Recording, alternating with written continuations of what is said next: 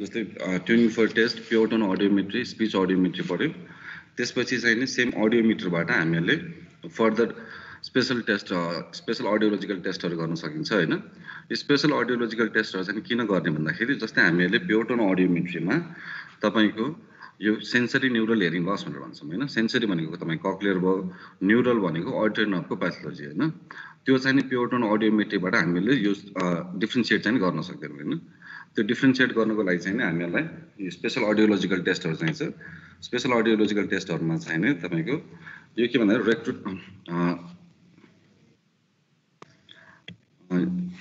जस्तै यिनीहरूमा कक्लियर प्याथोलोजीमा चाहिँ तपाईँको रिक्रुटमेन्ट भनेर फिनोमेना हुन्छ अनि अल्टरनको प्याथोलोजीमा चाहिँ एडप्टेसन भनेर हुन्छ है। जस्तै यो रिक्रुटमेन्ट भनेको चाहिँ नि के हो भन्दाखेरि recruitment is the abnormal growth in perception of sound intensity होइन? अनि यो चाहिँ कुनमा हुन्छ भन्दाखेरि यो चाहिँ कक्लियर प्याथोलोजी डायग्नोसिस गर्नको लागि हामीहरूले यो टेस्ट अफ रिक्रुटमेन्टहरू गर्छौँ होइन? रिक्रुटमेन्ट भनेको तपाईँको कक्लियर प्याथोलोजीमा देखिन्छ जुन चाहिँ हामीले के भन्छौँ abnormal growth in perception of sound intensity भनेर है? अनि यसमा चाहिँ हामीले टेस्ट गर्न सक्ने भनेको जस्तै कक्लियर प्याथोलोजीलाई आइडेन्टिफाई गर्न सक्ने टेस्टहरू भनेको एसआइएसआई भनेर हुन्छ है? Short increment sensitivity index test भन्ने हुन्छ यसलाई सर्ट फर्ममा एसआइएसआई भनेर भनिन्छ। अनि अर्को चाहिँ के हुन्छ भन्दाखेरि एबिएलबी भन्नुहुन्छ alternate binaural loudness balance test होइन? यो दुईवटा टेस्टले चाहिँ हामीहरूले चाहिँ कक्लियर प्याथोलोजी हो होइन भनेर चाहिँ आइडेन्टिफाई गर्न सकिन्छ तपाईँहरूले। अब एसआइएसआई टेस्ट चाहिँ नि यो कक्लर प्याथोलोजीको टेस्ट हो। यो चाहिँ जर्गरले नाइन्टिन फिफ्टी नाइनमा दिएको होइन? अनि यो टेस्टमा चाहिँ हामीले के गर्छौँ भने continuous tone is given twenty de decibel above hearing threshold होइन जस्तै मेरो वान किलो हर्समा मेरो हेरिङ थ्रेसहोल्ड ट्वेन्टी छ भने ट्वेन्टी प्लस ट्वेन्टी फोर्टीमा मैले दिन्छु त्यो कन्टिन्युस साउन्ड दिन्छु होइन अनि which will sustain for two मिनटसम्म चाहिँ सस्टेन हुन्छ होइन। र एट द सेम टाइम के हुन्छ भने अर्को सेकेन्ड टोन पनि हामीले त्यसमा प्रेजेन्ट गर्छौँ एउटा कन्टिन्युसली एउटा टोन प्रेजेन्ट गर्छौँ फर टु मिनट अनि एट द सेम टाइम अर्को टोन पनि त्यसमा सुपर इम्पोज हुन्छ नि every five second second tone intensity will increase by one dB होइन? त्यसरी हुन्छ। एउटा चाहिँ कन्टिन्युसली दुईवटा टोन गएको हुन्छ। एउटा टोन चाहिँ कन्टिन्युसली जान्छ तपाईँको। सेकेन्ड टोन चाहिँ नि तपाईँको एभ्री फाइभ सेकेन्डमा चाहिँ वान डेसिबल चाहिँ नि इन्क्रिज भएर फेरि चाहिँ सेम लेभलमा आएको छ सपोज मैले फोर्टी डेसिबलको एउटा साउन्ड दिएको छु भने सेकेन्ड साउन्ड पनि फोर्टीमा जान्छ तर आफ्टर फाइभ सेकेन्ड त्यो फोर्टी वानमा गएर फेरि फोर्टीमा आउँछ होइन? यसरी रेज हुने चाहिँ नि ट्वेन्टीवटा सच ब्लिप्सहरू चाहिँ हामीले प्रेजेन्ट गर्छौँ अनि त्यो ट्वेन्टीवटा ब्लिप्स चाहिँ कतिवटा चाहिँ पेसेन्टले आइडेन्टिफाई गर्यो होइन? त्यसको अनुसार चाहिँ हामीले पर्सेन्टेज अफमा दिन्छौँ जस्तो ट्वेन्टीवटामा ट्वेन्टीवटा ब्लिप्स नै पेसेन्टलाई आइडेन्टिफाई गर्यो भने त्यो वान डेसिबल रेज भएको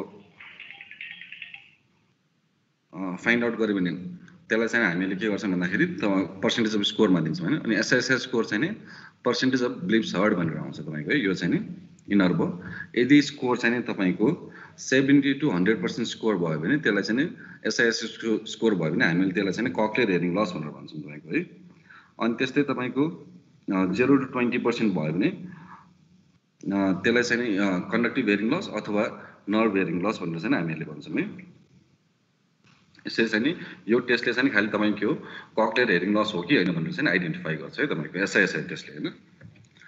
अनि त्यसपछि अर्को आउँछ ABLB test alternate binaural loudness balance test होइन। यो चाहिँ फलरले नाइन्टिन थर्टी सिक्समा दिएको टेस्ट हो। अनि यसबाट नै हामीहरूले रिक्रुटमेन्ट छ कि छैन भनेर चाहिँ हामीले आइडेन्टिफाई गर्छौँ है। यसमा चाहिँ के गर्छौँ भन्दाखेरि हामीहरूले दुईवटा इयरमा pure tone is present alternately to hearing loss र नर्मल हेयरिङ एउटा चाहिँ यो चाहिँ युनिल्याटरल हेरिङ लसमा गर्ने टेस्ट हो. यो चाहिँ एउटामा नर्मल एयर हुन्छ एउटामा चाहिँ हेरिङ लस हुन्छ होइन? अनि यसमा चाहिँ नि तपाईँहरूको के हुन्छ भन्दाखेरि एउटा नर्मल एयरमा र अर्को चाहिँ नि हेरिङ लस एयरमा चाहिँ हामीले प्योटोन चाहिँ अल्टरनेटली चाहिँ प्रेजेन्ट गर्छौँ होइन?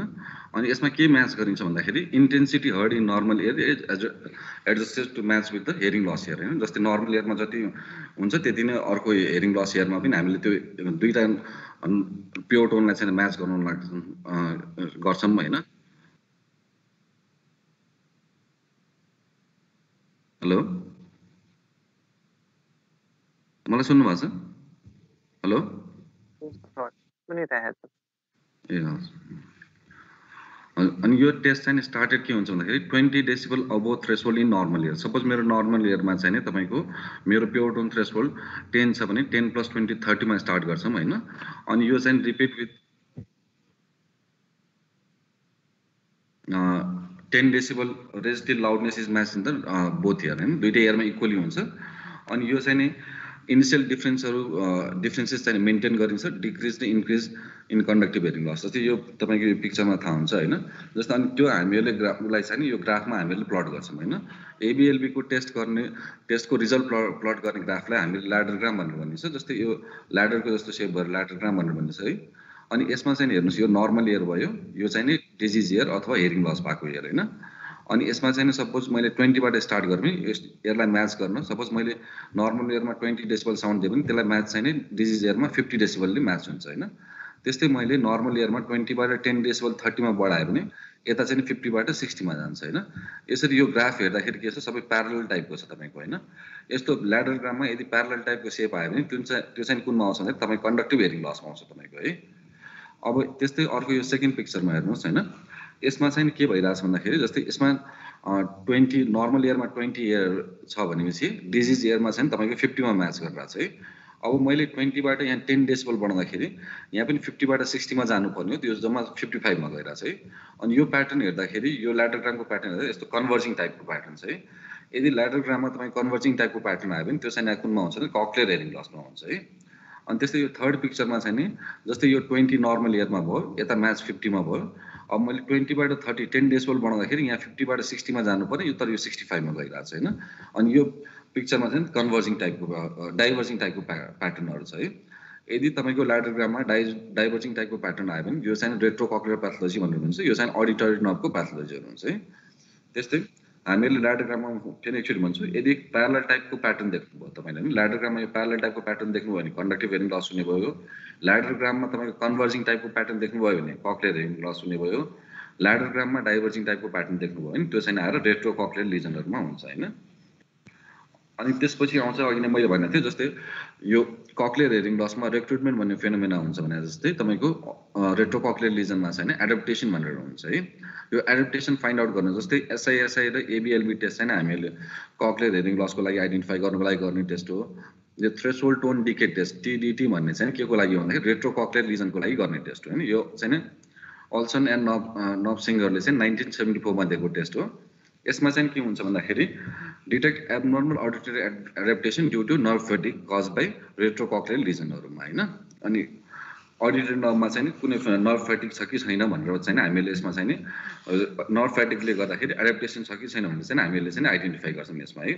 अनि यसमा के गरिन्छ भन्दाखेरि तपाईँको प्योर टोन चाहिँ twenty decibel above hearing threshold suppose मेरो हेरिङ थ्रेसोल्ड टेन छ भने टेन प्लस ट्वेन्टीमा चाहिँ मैले त्यो चाहिँ एउटा प्योर टोन प्रेजेन्ट गर्छु कन्टिन्युसली फर वान मिनटसम्म होइन? के गर्ने प्योर टोन थ्रेसोल्ड जति छ त्यसको ट्वेन्टी डेसिबल प्लस गरेर कन्टिन्युसली त्यो प्योर टोन चाहिँ वान मिनटसम्म चाहिँ प्रेजेन्ट गरिन्छ होइन? यदि if patient stop hearing earlier यदि पेसेन्टले चाहिँ सपोज मैले थर्टीमा साउन्ड प्रेजेन्ट गरिरहेको छु फर वान मिनट यदि पेसेन्टले थर्टीमा चाहिँ कन्टिन्युसली वान मिनटसम्म सुन्यो भने यो टेस्ट नेगेटिभ हुने तर यदि पेसेन्टले चाहिँ वान मिनटभन्दा अगाडि नै साउन्ड सुन्न छोडेपछि मैले के गर्छु फेरि फाइभ डे डेसिबल रेज गर्छु है। सपोज मेरो अघि थर्टी थियो भने अब चाहिँ थर्टी फाइभमा लिएर जान्छु होइन। र फेरि यो टेस्ट चाहिँ फेरि रिस्टार्ट गरिदिन्छु फेरि वान मिनटको लागि रिस्टार्ट गरिदिन्छु होइन। अनि यो टेस्ट चाहिँ कुन बेला हुन्छ test continue to patient hear continuously for one minute or intensity increment decay by twenty five decibel होइन।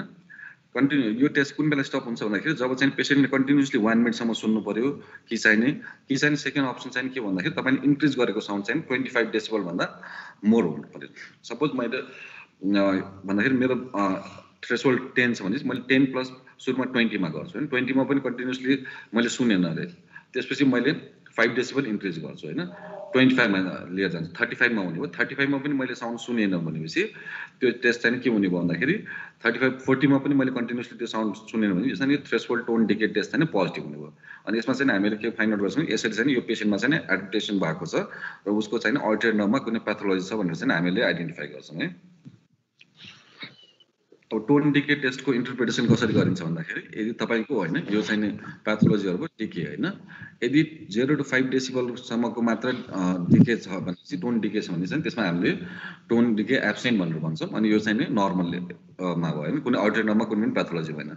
यदि डिके चाहिँ टेन टु फिफ्टिन डेसिबल भयो भने त्यसलाई चाहिँ माइल्ड डिके भनेर भनिन्छ त्यो चाहिँ कक्लियर हेरिङ लसमा हुन्छ है। यदि ट्वेन्टी टु ट्वेन्टी फाइभ डेसिबलको पनि तपाईँको डिके छ भने त्यसलाई मोडरेट टोन डिके भनेर भन्छ। त्यो पनि कक्लियर प्याथोलोजीमा हुन्छ है। यदि डिके छ भने more than tone decay more than twenty five डेसिबलको छ भने चाहिँ त्यसलाई चाहिँ सिभियर टोन डिके भनेर भनिन्छ त्यो चाहिँ कुनमा आउँछ भने रेट्रो कक्लियर लिजनमा हुन्छ यो टेस्ट चाहिँ हामीले के को लागि रेट्रो कक्लियर प्याथोलोजीको लागि आइडेन्टिफाई गर्ने टेस्ट हो है। यसरी हामीहरूले यो स्पेसल टेस्टहरूमा एउटा के अरे रिक्रुटमेन्टको लागि आइडेन्टिफाई गर्न सकिन्छ एउटा चाहिँ यो डिकेको लागि एडप्टेसनको लागि है। रिक्रुटमेन्टमा चाहिँ एसआइएसआई र एबिएलबी भयो। अनि यो चाहिँ एडप्टेसन छ कि छैन भनेर हेर्नुको लागि चाहिँ टोन डिके टेस्ट हो है। यिनीहरू चाहिँ स्पेसल अडियोलोजिकल टेस्टहरू त्यसपछि थर्डमा आउँछ तपाईँको इम्पिडेन्स अडियोमेट्री भनेर आउँछ है। इम्पिडेन्स अडियोमेट्रीहरूमा चाहिँ के हुन्छ भन्दाखेरि यो एउटा फर्दर अर्को टेस्ट हो तपाईँको होइन। अनि यसमा चाहिँ नि तपाईँको दुईवटा टेस्ट गर्न मिल्छ है। अनि एउटा फर्स्टमा आउँछ टिम्पानोमेट्री भनेर आउँछ र सेकेन्डमा चाहिँ आएर अकोस्टिक रिफ्लेक्स टेस्ट भनेर हुन्छ है अथवा स्टेबिटल रिफ्लेक्स टेस्ट पनि भनेर भन्छ। तर यिनीहरू दुईवटा टेस्ट गरेपछि हामीले सपोज हामीले टिम्पानोमेट्री मात्र गऱ्यो भने चाहिँ यो टिम्पानोमेट्रीले मिड लेयरको फङ्सन चेक गर्ने भयो टेस्ट है। अनि अकोस्टिक रिफ्लेक्सले चाहिँ स्टेबिटल रिफ्लेक्सको चाहिँ फङ्सन टेस्ट गर्छ है। अनि यो दुईवटा टेस्ट हामीहरूले सँगै गरेपछि मात्र त्यसलाई इम्पिडेन्स अडियोमेट्री भनिन्छ अथवा इमिटेन्स अडियोमेट्री पनि भनिन्छ यिनीहरूलाई। अनि टिम्पानोमेट्रीको प्रिन्सिपल के हो भन्दाखेरि तपाईँको less compliant or steep for टिएमले चाहिँ रिफ्लेक्ट मोर साउन्डहरू हुन्छ होइन? अनि म्याक्सिमम् कम्प्लाइन्ट चाहिँ कुन बेला हुन्छ भन्दाखेरि तपाईँको यदि प्रेसर चाहिँ नि हामीले क्रिएट गरेको एक्सटर्नल क्यानलमा क्रिएट गरेको प्रेसर र मिड लेयरको प्रेसर चाहिँ इक्वल भयो भने चाहिँ त्यस बेला चाहिँ हामीले म्याक्सिमम् कम्प्लाइन्टहरू चाहिँ पाउँछौँ हामीहरूले होइन? अनि कम्प्लाइन्स भनेको के के हो भन्दाखेरि तपाईँको टिम्पानिङ मेमोरीको मोबिलिटी है कम्प्लाइन्स भनेको चाहिँ। अनि इम्पिडेन्स अडियोमेट्री गर्नुको लागि चाहिने इन्स्ट्रुमेन्ट चाहिँ यो टिम्पानोमिटर भयो है। जस्तै हामीले प्योटोन अडियोमेट्री गर्नुको लागि चाहिने इन्स्ट्रुमेन्टको नाम अडियोमिटर भयो जस्तै। इम्पिडेन्स अडियोमेट्री गर्नुको लागि चाहिनेलाई चाहिँ हामीले टिम्पानोमिटर भनेर भन्छौँ। यो चाहिँ टिम्पानोमिटर भयो तपाईँको। यो इन्स्ट्रुमेन्ट भयो अनि यो प्रोब यहाँनिर यो टिप छ नि होइन यो चाहिँ लिएर हामीहरूले एक्सटर्नल क्यानलमा चाहिँ प्रेस प्लेस गर्छौँ है यो चाहिँ। अब यो टिम्पानोमेट्री हामीले गरिसकेपछि एउटा ग्राफ आउँछ तपाईँलाई त्यसलाई चाहिँ हामीले टिम्पानोग्राम भनेर भन्छौँ। त्यो टिम्पानोग्रामलाई चाहिँ हामीले अब एबिसी एबिसी एडिएएस भनेर हुन्छ तपाईँको होइन? अब यो कुन ए टाइप हो कुन एबी टाइप एडी टाइप हो कुन सी टाइप हो भनेर चाहिँ हामीले कसरी आइडेन्टिफाई गर्छौँ भने यो तिनवटा प्यारामिटर हेरेर गर्छौँ तपाईँको है? एउटा चाहिँ कम्प्लाइन्स भनेर हुन्छ। कम्प्लाइन्स भनेको टिम्पानिक मोबिलिटी अर्को चाहिँ आएर मिड लेयरको प्रेसर मिड लेयरमा कति प्रेसर छ भनेर र थर्डमा चाहिँ आएर एक्सटर्नल क्यानलको भोल्युम भनेर हुन्छ। यो तिनवटा प्यारामिटर हेर्छौँ है? अनि अडल्टमा चाहिँ नि नर्मल कम्प्लाइन्सको भ्यालु कति हुन्छ भने zero point three to one point seven six हुन्छ है अडल्टहरूमा चिल्ड्रेनहरूमा पनि कम्प्लाइन्सको भ्यालु चाहिँ सेम नै हुन्छ normal कम्प्लाइन्सको value zero point three to one point seven six होइन। त्यस्तै नर्मल मिड लेयर प्रेसर कति हुन्छ अडल्टहरूमा र चिल्ड्रेनहरूमा चाहिँ सेम नै हुन्छ। Plus sixty to minus hundred deca pascal है।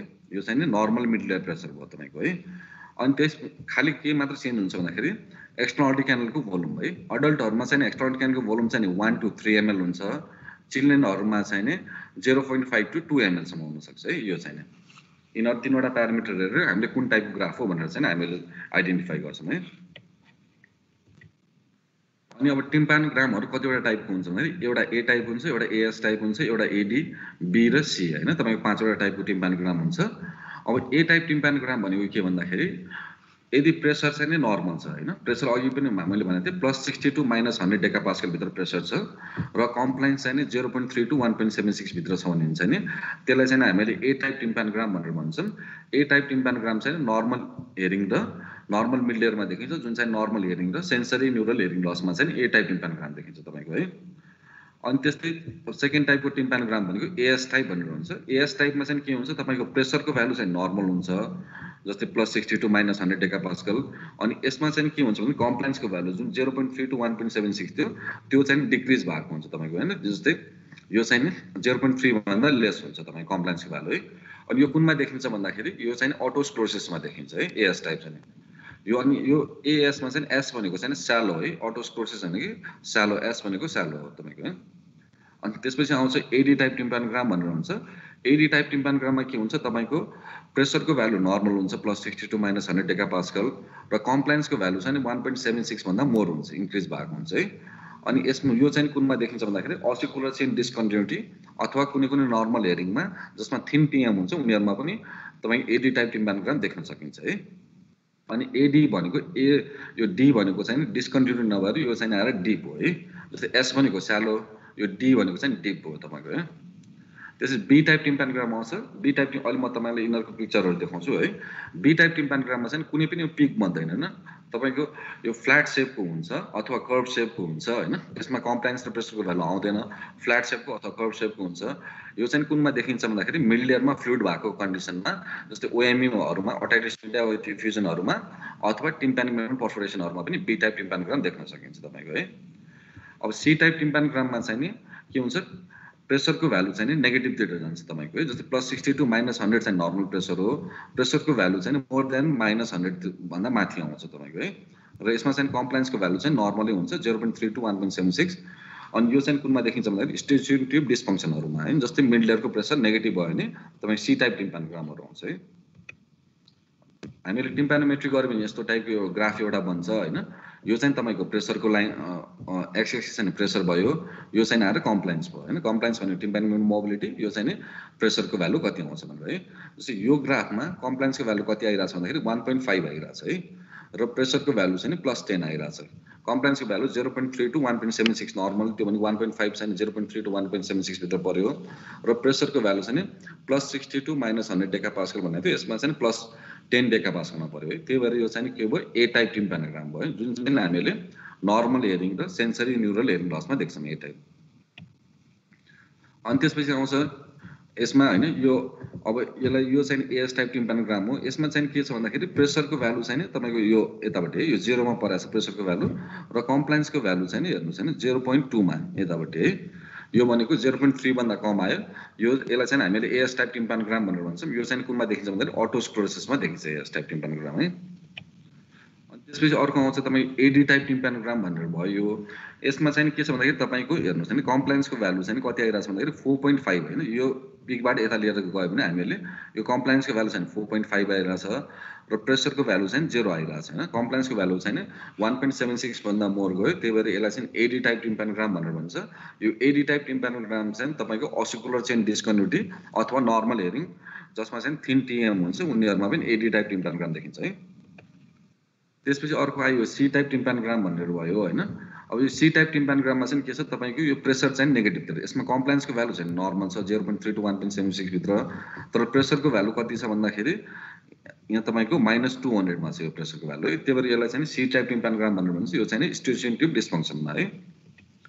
अब हेर्नुहोस् होइन बी टाइप टिम्पान अघि नैको पिकहरूमा जस्तै सबै यो पि टिम्पानोग्रामहरूमा एउटा पिक फर्मेसन भइरहेछ होइन? तपाईँको त्यो कुनै बेला पिकको हाइट बढिरहेछ कुनै बेला पिकको हाइट घटिरहेछ कुनै बेला पिक नेगेटिभतिर गइरहेछ होइन? एउटा सर्टेन पिक चाहिँ फर्मेसन भइरहेछ है? तर बी टाइप टिम्पानोग्राममा चाहिँ नि तपाईँको के हुन्छ भन्दाखेरि कुनै पनि पिक फर्मेसन हुँदैन। तपाईँको यो चाहिँ आएर के हुन्छ भन्दाखेरि तपाईँको यो यस्तो फ्ल्याट टाइपको सेप हुन्छ अथवा कर्भ सेप हुन्छ है?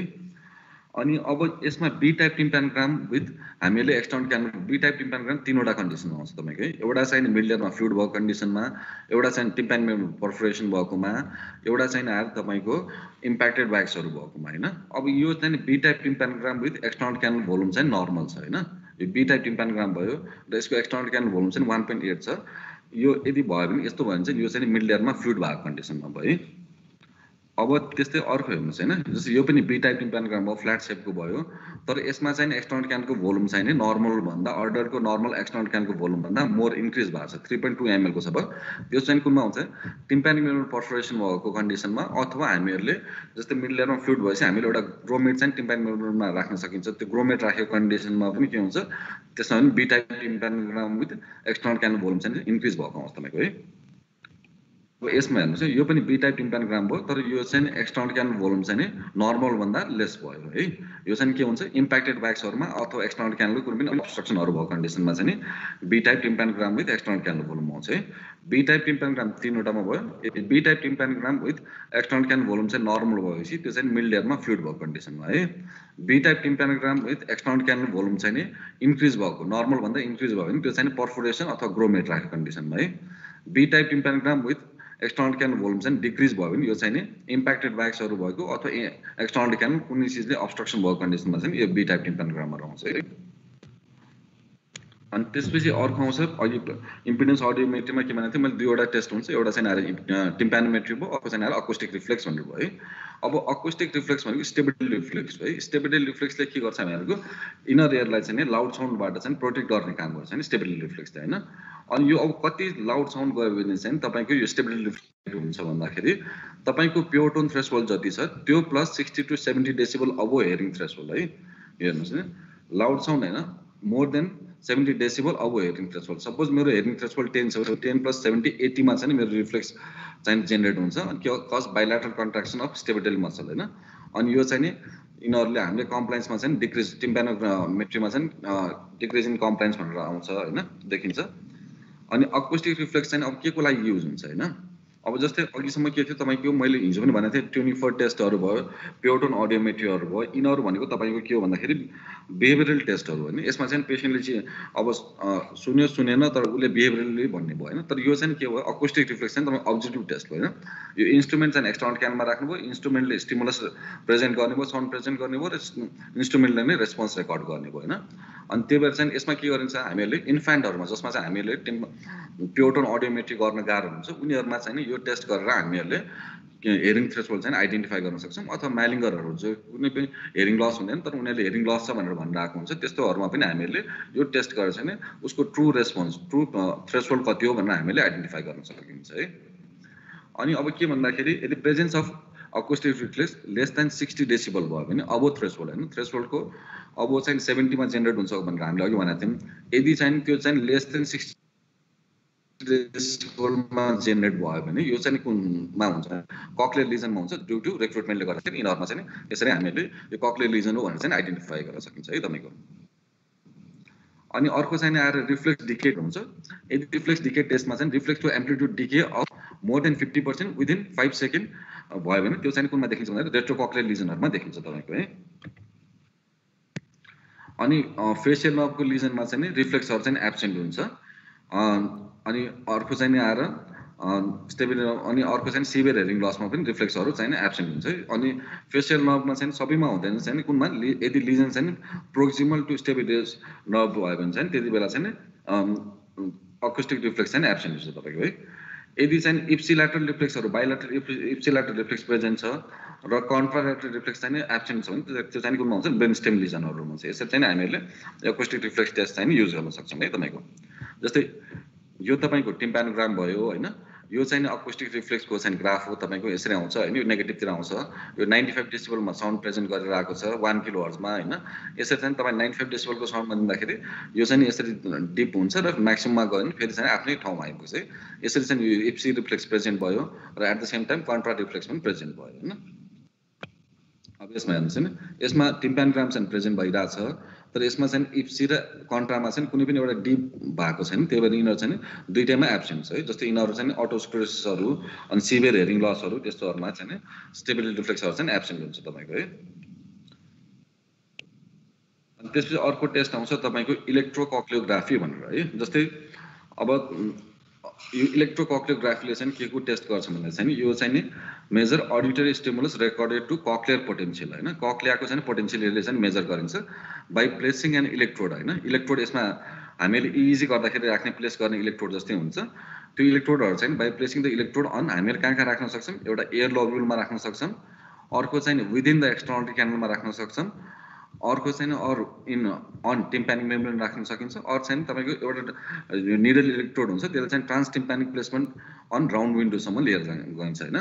सबैभन्दा बेटर रेस्पोन्स चाहिँ तपाईँ कुनमा आउँछ भन्दाखेरि इलेक्ट्रोकक्लियोग्राफीमा transtympanic placement on round विन्डोमा हुन्छ है। यसमा चाहिँ निडलले चाहिँ तपाईँको टिम्प्यानिक मेम्ब्रेनलाई पर्फोरेसन गरिन्छ सबैभन्दा बेस्ट रिजल्ट यसमा आउँछ।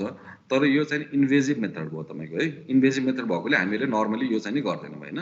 अनि हामीले गर्ने भनेको चाहिँ सबैभन्दा बेस्ट हामीले राख्न सजिलो हुने भनेको चाहिँ एक्सटर्नल क्यानलमा चाहिँ राख्न सकिन्छ। त्यही भएर हामीले इलेक्ट्रोकक्लियोग्राफी गर्दाखेरि एउटा इलेक्ट्रोड चाहिँ लिएर एक्सटर्नल क्यानलमा चाहिँ राख्ने राख्न राख्छौँ है हामीले अनि यसमा चाहिँ तिनवटा मेजर कम्पोनेन्टहरू हुन्छ जस्तै इलेक्ट्रोकक्लियोग्राफीमा एउटा चाहिँ आउँछ तपाईँको कक्लियर माइक्रोफोनिक्स भन्ने हुन्छ है जुन चाहिँ नि आउटर हेयर सेलबाट जेनेरेट हुन्छ है कक्लियर माइक्रोफोनिक्स होइन।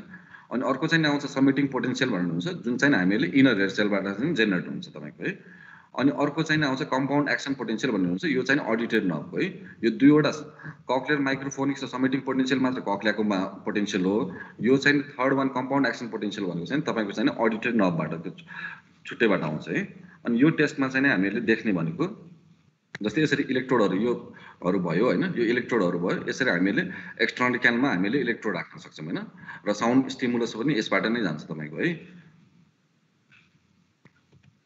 अनि ट्रान्स टिम्पानिकमा चाहिँ यसरी निडल इलेक्ट्रोड हुन्छ। यो चाहिँ टिम्पानिकमा पर्फोरेसन गरेर नियर राउन्ड विन्डोमा चाहिँ हामीले प्लेस गर्न सक्छौँ। तर अघि नै मैले भने यो चाहिँ इन्भेजिभ मेथड भएकोले नर्मली हामीले यो चाहिँ गर्दैनौँ तपाईँको है। अघि नैको जुन यो फ्रसको जस्तै यहाँनिर इलेक्ट्रोड चाहिँ एक्सटर्नल क्यानमा राखेर हामीले गर्छौँ यो टेस्ट चाहिँ। अनि अब इलेक्ट्रोकक्लियोग्राफीमा चाहिँ के कुन कुन पोटेन्सियल देखिन्छ भन्दाखेरि तपाईँको समेटिङ पोटेन्सियल देखिन्छ है।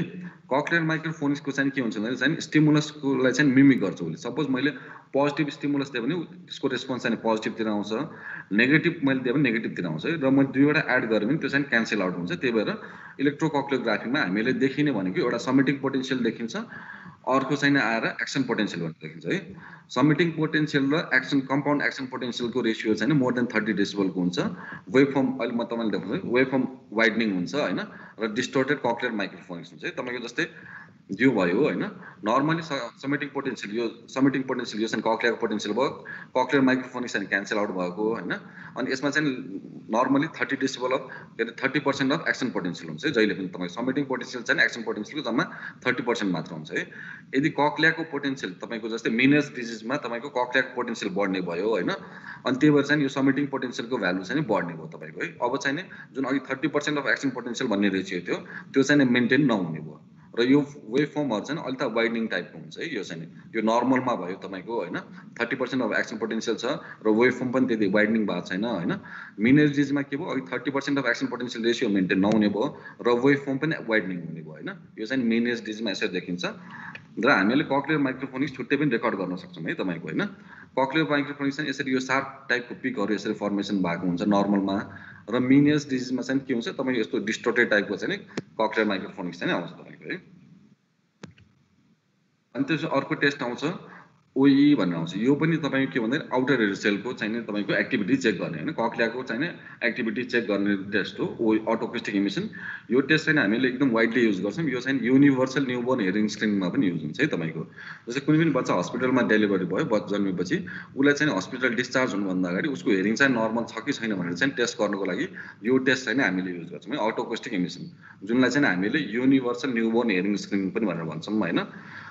अनि यसलाई चाहिँ अथवा केम्प इको पनि भनिन्छ। केम्पले दिएको भएकोले यसलाई ओइलाई केम्प इको पनि भन्नुहुन्छ है। यसमा चाहिँ के हुन्छ भन्दाखेरि साउन्ड जेनेरेटेड होइन तपाईँ sound generated by normal human ककले either spontaneously तपाईँले कुनै पनि साउन्ड नदिए पनि स्पोन्टेनियसली ह्युमन कक्लियाले जेनेरेट गरेको अथवा or in response to sound or acoustic stimulus due to activity of outer hair cell होइन यो चाहिँ आउटर हेयरसेलको एक्टिभिटीले हुन्छ। तपाईँले कुनै पनि साउन्ड नदिए पनि यो चाहिँ जेनेरेट भइरहेको हुन्छ अथवा कुनै साउन्ड दिनुभयो होइन एउटा साउन्ड दिनुभयो अकोस्टिक स्टिमुलस दिनुभयो भने त्यो चाहिँ आउटर हेयरसेलको एक्टिभिटीले जेनेरेट हुने पोटेन्सियललाई हामीले अटोकोस्टिक इमिसन भनेर भन्छौँ है।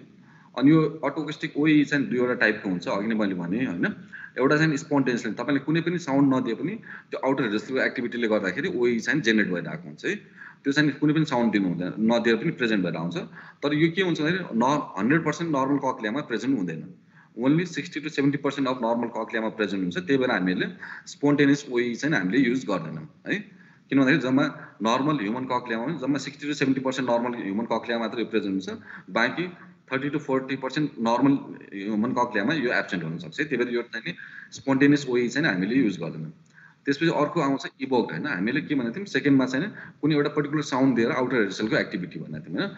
यो पर्टिकुलर टाइपको साउन्ड दिएर यदि हामीले आउटर हेयरसेलको एक्टिभिटी चाहिँ इभोक गराएर भने चाहिँ त्यसलाई चाहिँ नि इभोक ओई भनेर हुन्छ इभोकमा चाहिँ transient TO transient evoked otoacoustic emission भनेर एउटा आउँछ। सेकेन्डमा चाहिँ आएर डिपिओई भनेर आउँछ डिस्टोर्सन प्रडक्ट अटोकेस्टिक इमिसनहरू है। यो इभोकहरू चाहिँ के हुन्छ यो चाहिँ हन्ड्रेड पर्सेन्ट अफ नर्मल कक्रियामा प्रेजेन्ट भएकोले हामीले यो दुईवटा टेस्ट चाहिँ ओईमा चाहिँ युज गर्छौँ। TOE transient evoked otoacoustic emission र डिस्टोर्सन प्रडक्ट अटोकेस्टिक इमिसन भनेर दुईवटा युज गर्छौँ है। अनि ओईको एप्लिकेसन के हो भन्दाखेरि यो अब्जेक्टिभ टेस्ट भयो। यसमा पनि पेसेन्टले कुनै रेस्पोन्स नदिनु पर्ने भयो होइन। यो इन्स्ट्रुमेन्टले आफै यो स्टिमुलस जेनेरेट गरेर रेस्पोन्स चाहिँ आफै रेकर्ड गर्छ। यो चाहिँ नन इन्भेजिभ भयो होइन जस्तै एउटा प्रोब हामीले अघि नै टिप जस्तै एक्सटर्नल क्यानमा राख्छौँ अनि त्यसले नै रेकर्ड गर्छ है। यो चाहिँ के हुन्छ? हेरिङ स्क्रिनिङ इन न्युनेट्स जस्तै न्यु अघि नै मैले भने युनिभर्सल न्युबोर्न हेरिङ स्क्रिनिङमा न्युनेट्सहरूमा भर्खर जन्मेको बच्चाहरूमा पनि हामीले ओइ गर्न सक्छौँ होइन। अनि evaluation of non organic hearing लसहरू जस्तै कुनै पनि मान्छेहरूले म्यालिङ्गरहरूले तिनीहरूले गरिरहेको छ भने यो टेस्ट गरेर हामीले उसको ट्रु प्योरटोन थ्रेसोल्ड कति हो बिहेभियरल थ्रेसोल्ड कति हो भनेर चाहिँ हामीले आइडेन्टिफाई गर्न सकिन्छ है। अनि अब तपाईँको यो ओइ कसरी जेनेरेट हुन्छ भन्दाखेरि मेनली तपाईँको generated mainly by action of outer hair cell होइन? अनि यसमा चाहिँ दुईवटा प्रोसेस इन्भल्भ आउँछ। एउटा चाहिँ फरवर्ड ट्रान्समिसन भन्ने हुन्छ एउटा ब्याकवर्ड ट्रान्समिसन होइन? फरवर्ड ट्रान्समिसन भनेको चाहिँ नर्मल हेर्नु जस्तै तपाईँको साउन्ड पिन्नाले कलेक्ट गर्यो त्यो चाहिँ एक्सटर्नल लेयरमा गयो मिड लेयरमा गयो इनर लेयरमा गयो अल्टरनमा गयो त्यसरी यो अल्टर कर्टेक्समा गयो होइन? यो जुन प्रोसेस छ यसलाई चाहिँ फरवर्ड ट्रान्समिसन भन्नु भनिन्छ है। यो फरवर्ड ट्रान्समिसन हुँदाखेरि त्यो जुन माथि गइरहेको साउन्ड चाहिँ अल्टर कटेक्समा गइरहेको साउन्ड एउटा सर्टेन ठाउँमा पुगेपछि त्यो साउन्ड चाहिँ फेरि रिफ्लेक्ट ब्याक भएर एक्सटर्नल क्यानमा आउँछ है। यो चाहिँ के हुन्छ भने ब्याकवर्ड ट्रान्समिसन चाहिँ ड्युरिङ फरवर्ड ट्रान्समिसन भइरहेको बेलामा when outer hair cell get stimulated होइन दे जेनेरेट होइन आउटर हेडसेल जब स्टिमुलेट हुन्छ होइन त्यसले चाहिँ जेनेरेट सम साउन्ड होइन। त्यो आउटर हेडसेलको इम्पिडेन्सले रेजिस्टेन्सले गर्दाखेरि सर्टेन साउन्ड चाहिँ जेनेरेट हुन्छ। त्यो साउन्ड चाहिँ नि तपाईँको फेरि चाहिँ त्यो इनर इयरबाट मिड लेयरमा हुँदै एक्सटर्नल क्यानमा चाहिँ आइरहेको हुन्छ। जस्तै अहिले मैले बोलिरहेको तपाईँले सुनिराख्नु भएको हुन्छ सुनिराख्नु भएको छैन।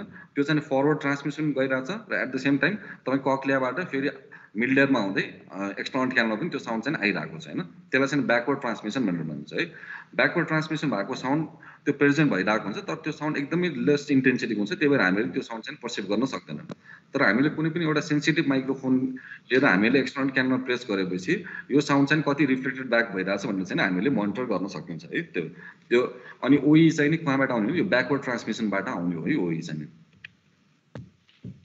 अनि अटोकेस्टिक मिसन ओइहरू चाहिँ एउटा अघि नै पनि मैले भने स्पोन्टेनियस ओइहरू साउन्ड इमिटेड विदाउट कुनै पनि स्टिमुलस नदिएर साउन्ड नदिएर नै यदि जेनेरेट हुन्छ भने स्पोन्टेनियस ओइ भनेर हुन्छ। त्यसपछि अर्को आउँछ ट्रान्जेन्ट इभोक अटोकेस्टिक मिसन भनेर हुन्छ।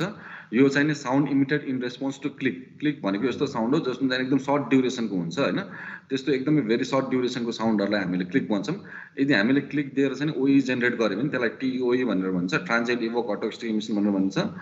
अर्को त्यसपछि आउँछ डिपिओई भनेर हुन्छ यसमा चाहिँ हामीले के गर्छौँ यो sound emitted in response to two simultaneous pure टोनहरू दुईवटा जस्तै मैले वान किलो हर्स र वान पोइन्ट फाइभ किलो हर्सको दुईवटा प्योर टोन चाहिँ सँगै प्रेजेन्ट गरेँ र त्यसको डिस्टोर्सनबाट जुन आउँछ त्यसलाई चाहिँ हामीहरूले डिपिओई भनेर भन्छौँ होइन? यिनीहरू भयो। अनि अर्को चाहिँ आउँछ सस्टेन फ्रिक्वेन्सी ओई भनेर भन्छ। यो sound emitted in response to continuous tone कुनै पनि एउटा कन्टिन्युस टोन दिएर गरेकोलाई चाहिँ सस्टेन फ्रिक्वेन्सी ओई भनिन्छ। यो स्पोन्टेनियस ओई र सस्टेन फ्रिक्वेन्सी ओईहरू चाहिँ यिनीहरू चाहिँ हन्ड्रेड पर्सेन्ट अफ नर्मल कक्लियामा प्रेजेन्ट हुँदैन। त्यही भएर हामीले यो दुईवटा चाहिँ गर्दैनौँ। यो चाहिँ एस स्पोन्टेनियस र सस्टेन होइन। हामीले युज गर्ने भनेको मेनली चाहिँ ट्रान्जिन्ट एउटा युज गर्छौँ अर्को चाहिँ आएर distortion product acoustic emission use गर्छौँ जुन चाहिँ हन्ड्रेड पर्सेन्ट अफ नर्मल कक्लियामा चाहिँ प्रेजेन्ट हुन्छ तपाईँको है। अनि यो चाहिँ नर्मल इभोक्ड ओइहरू हो टिओई हो होइन। यस्तो टाइपको ग्राफहरू हुन्छ तपाईँको। यो भयो होइन ओइको एम्प्लिट्युड माइनस नोइज फ्लोर भनेर यो जुन यो अरेन्ज कलरमा छ। यिनीहरूलाई चाहिँ तपाईँको नोइज फ्लोर भनिन्छ। अनि हामीले टिओई कुन बेला प्रेजेन्ट हुन्छ भनेर भन्दाखेरि जब चाहिँ नि reproducibility of TOAE fifty percent more than fifty percent हुन्छ जस्तै मैले फर्स्ट टाइम टिओई गरेँ र अर्कोचोटि सेकेन्ड टाइम टिओई गरेँ र फर्स्ट र सेकेन्डको त्यो वेभ फर्महरू एउटै मिल्नुपर्छ नि रिप्रोड्युसिबिलिटी चाहिँ कति हुनु पऱ्यो मोर देन फिफ्टी पर्सेन्ट हुनु पऱ्यो होइन। अनि अर्को चाहिँ नि यो टी यो ब्लूमा भएको चाहिँ टिओयु हो है यसलाई चाहिँ नोइज फ्लोर भनेर भनिन्छ। यो ट्रान्जिन इभोक अटोकिस्टिक मिसन र noise फ्लोरको transient evoke otoacoustic emission minus noise floor चाहिँ मोर देन थ्री डेसिबल हुनु पऱ्यो तपाईँको है? दुईवटा कुरा हामीले हेर्छौँ यसमा। ओ यो टिओई प्रेजेन्ट छ कि छैन भने एउटा चाहिँ फर्स्ट वेभ र सेकेन्ड वेभमा रिप्रोड्युसिबिलिटी चाहिँ मोर देन फिफ्टी पर्सेन्ट हुनु पऱ्यो अर्को चाहिँ ट्रान्जेन्ट इभोक अटोकिस्टिक मिसनको एम्प्लिट्युड माइनस नोइज फ्लोरको एम्प्लिट्युड चाहिँ मोर देन थ्री डेसिबल हुनु पऱ्यो है? त्यही भएर यो भयो भने चाहिँ हामीले टिओई प्रेजेन्ट भनेर भन्छौँ है? अर्को चाहिँ डिपिओई भन्नु आउँछ जस्तै यो डिपिओईको ग्राफ हो तपाईँको होइन? अनि डिपिओई प्रेजेन्ट कुन बेला हुन्छ भन्दाखेरि यदि एब्सोल्युट एम्प्लिट्युड यो डिपिओको यो एब्सोल्युट एम्प्लिट्युड चाहिँ जहिले पनि more than minus six decibel हुनु पऱ्यो। अर्को चाहिँ नि DP DPOAE minus noise floor चाहिँ नि मोर देन सिक्स डेसिबल हुनु पऱ्यो। अघि TOAE minus noise floor three decibel थियो।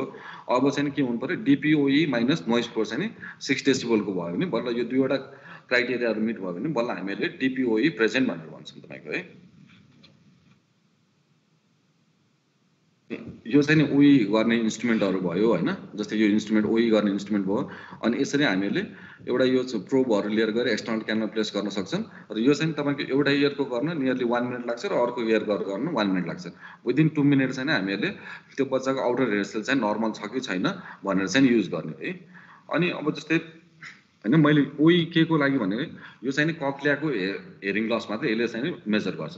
तर यसले चाहिँ अडिटरी नबको ऊ चाहिँ सरी हेरिङ लस छ छैन भने चाहिँ आइडेन्टिफाई गर्दैन है।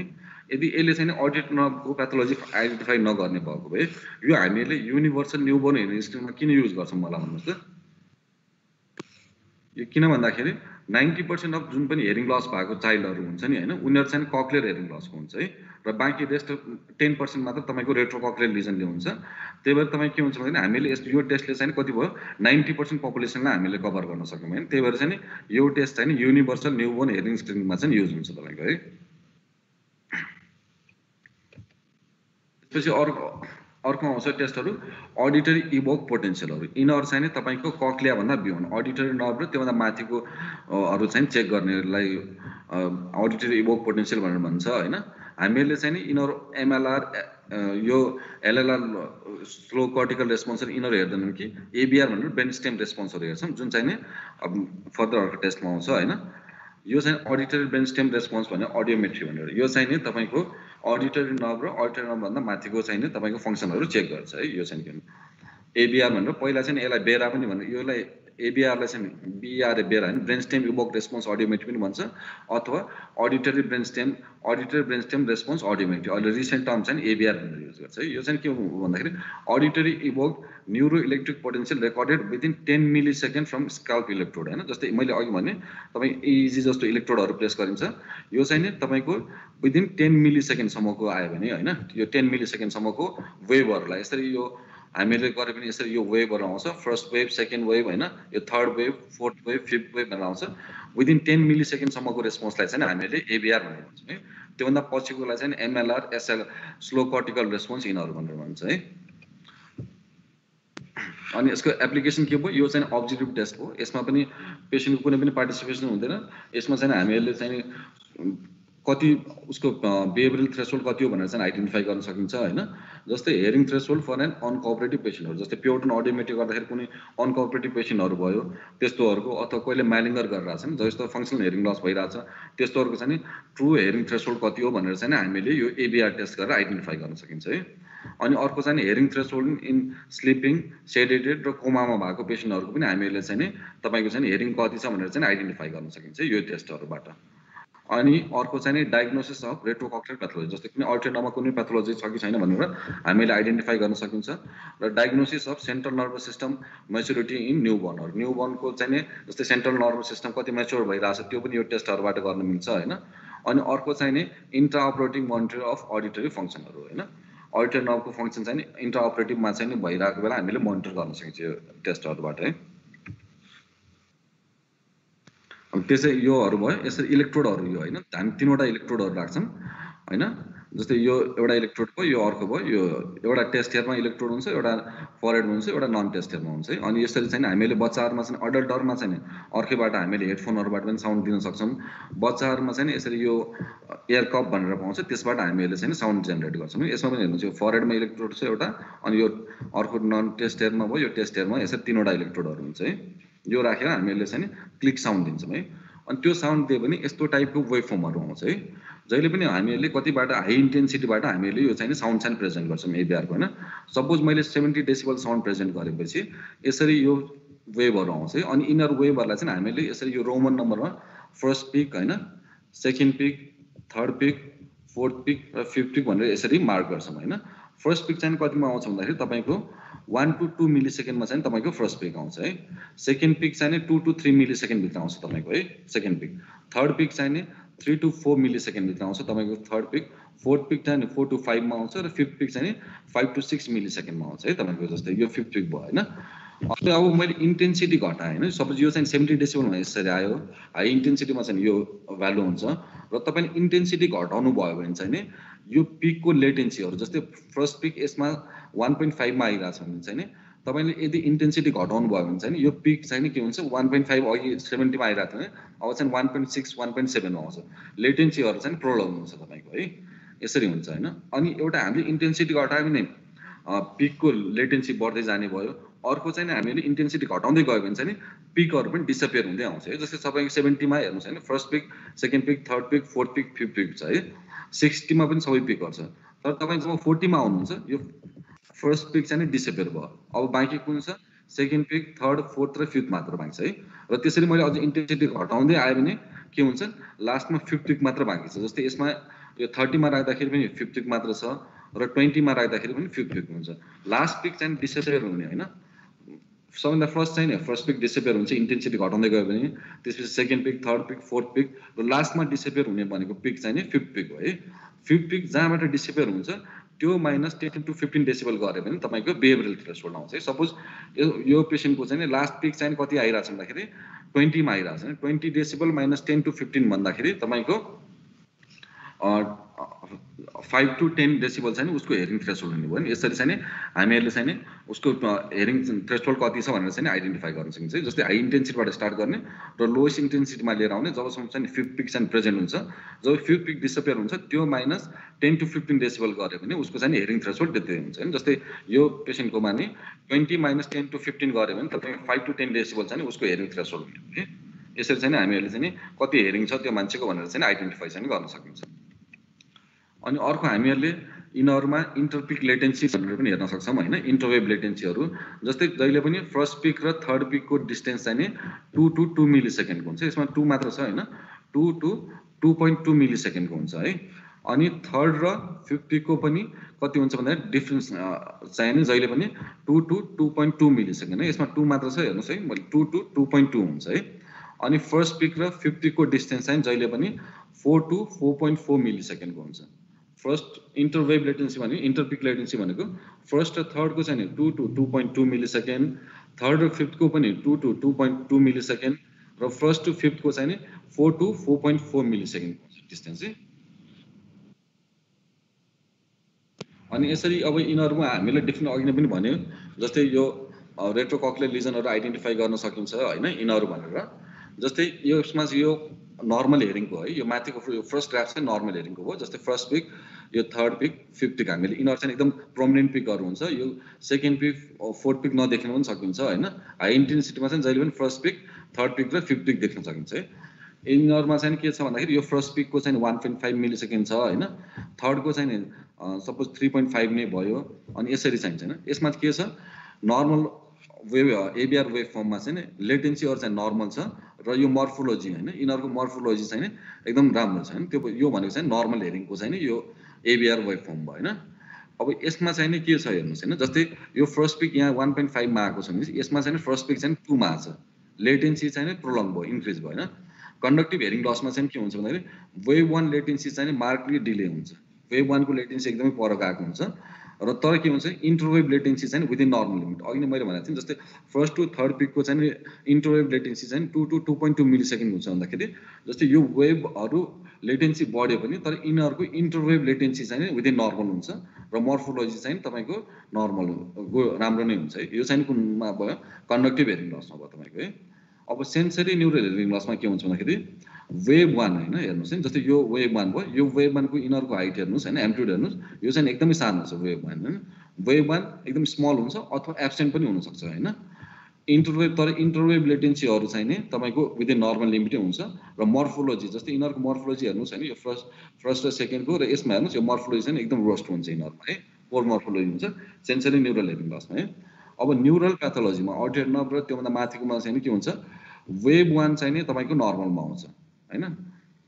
र इन्टरवेभ लेटेन्सीहरू चाहिँ डिले हुन्छ जस्तै अब थर्ड र फिफ्थको फर्स्ट र थर्डको चाहिँ जस्तै two to two point mil two milli second हुनुपर्ने ठाउँमा चाहिँ त्यो चाहिँ के हुन्छ?